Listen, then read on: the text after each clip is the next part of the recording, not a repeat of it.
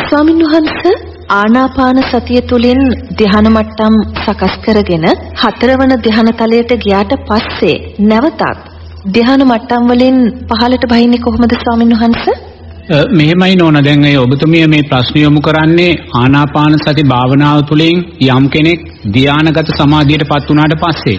ඒ කියන්නේ පළවෙනි දෙවෙනි තුන්වෙනි හතරවෙනි ධානාගත සමාධියටපත් වුණාට පස්සේ ඒ හතරවෙනි ධාන තලයටපත් වුණ කෙනා කොහොමද ආයිමත් පෙරලා තමන් පටන් ගත්තා උතනට එන්නේ කියන කාරණේ ඒ කියන්නේ ධාන වලින් පසුබසින්නේ කොහොමද කියන කාරණේ. එතෙන්දි නෝනා දැන් මම මුලින් පැහැදිලි කළා එදා වැඩසටහනේදී අනිවාර්යයෙන්ම ආස්වාස ප්‍රාස්වාසයේ දිගභාවය, කෙටිභාවය, ඒ වගේම සංහිඳීම දකිමින් ප්‍රීතිය, සැපය දකිමින් උපේක්ෂාව කියන තැනට අපි හිත අරගෙන යනවා. තේරෙනවද? මේ උපේක්ෂාව කියන තැන තමයි මං කියවර ප්‍රභාෂර ආලෝක සංඥාව කියන තැන. ඒක මං එදා වැඩසටහනේදී පින්වතුන්ලාට බෙදලා දක්වලා තියෙනවා. ඒ නිසා එතන මේ මාර්ගය ඔස්සේ කෙනෙක් උපේක්ෂාව කියන හතරවෙනි ධානය තලයට ගියාට පස්සේ ඒ හතරවෙනි ධානය තලය තුල එයා කැමැති තාක් ඉඳිමින් ඒ අර ආලෝක සංඥාව දකිමින් කැමැති තාක් හතරවෙනි ධානය තලයේ ආස්වාදයේ විඳිමින් ඉඳලා එයාට දැන් හිතුනොත් මම දැන් ධානය මට්ටම් වලින් පල්ලෙහාට යනවායි කියන කාරණේ එයා කරන්න ඕනේ අර හතරවෙනි ධානය තලයට අදාළවර ආලෝක සංඥාව දැකීමෙන්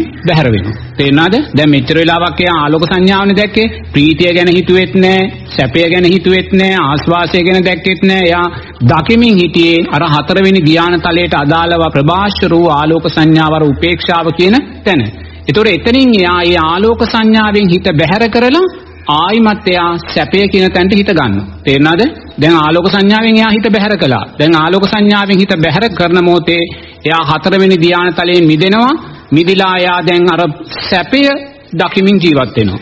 ශරීරය තුළ සකස් වෙන්නා වූ සැපය දකිමින් ඒතකොට ඒ සැපය දකිමින් ජීවත් වෙනවා කියන්නේ එතනදී ආ තුන්වෙනි ධානය තලයට පසුබැස්සා. ඒතකොට ඒ තුන්වෙනි ධානය තලයට පසුබැසලා ඒ සැපය දකිමින් එයා ජීවත් වෙමින් ඊට පස්සේ එයා ඒ සැපය තුලින් ප්‍රීතියක් මතු කරලා දකිනවා. තේරෙනවද? එතකොට දැන් මුලින් මෙයා සැපය තුලයි දැක්කේ. ඒ කියන්නේ එයා තුන්වෙනි ධානය තලයට පසුබැස්සා. ඊට පස්සේ සැපය ඇතිතාක් දකිමින් ඉඳමින් ඊළඟට ඒ සැපය තුලින් එයා ප්‍රීතියක් මතු කරලා දකිනවා. කොතනද එයා ඉන්නේ? ප්‍රීතියයි සැපයයි තුල. එතකොට මේ ප්‍රීතියක් සැපයක් දකිනවා කියන කාරණේ කියන්නේ එයා දෙවෙනි ධානය තලයට පසුබැස්සා. එහෙම ප්‍රීතියක් සැපයක් දකිමින් එයා ඉඳලා ඊට පස්සේ ආයේ ප්‍රීතියක් සැපයක් තුලින් එයා නැවත අර සියුම් ආස්වාස ප්‍රාස්වාසයේ ස්වභාවයට හිත යොමු කරනවා. තේරෙනවද? අර සංහිඳිලා තියෙන ආස්වාසයටත් හිත යොමු කරනවා. දැන් එතනදී අර සංහිඳුනා වූ ආස්වාසයේ සියුම් සුරන් රැල්ලත් එයාට අරමුණු වෙනවා. ප්‍රීතියක් තියෙනවා, සැපයක් එයාට අරමුණු වෙනවා. ඒ කියන්නේ විචාර විතර්ක සහිත ප්‍රීතිය සැපය සහිත පළවෙනි ධානය තලයේ කියන තැනට එයා දැන් පසුබැස්සා. තේරෙනවද? ඒ පළවෙනි ධානය තලයට පසුබැස්සාට පස්සේ තමන් ක්‍රමානුකූලව ආස්වාසය වේගවත් කරගෙන ස්වභාවික තත්වයට එන්නයි තියෙන්නේ. තේරෙනවද?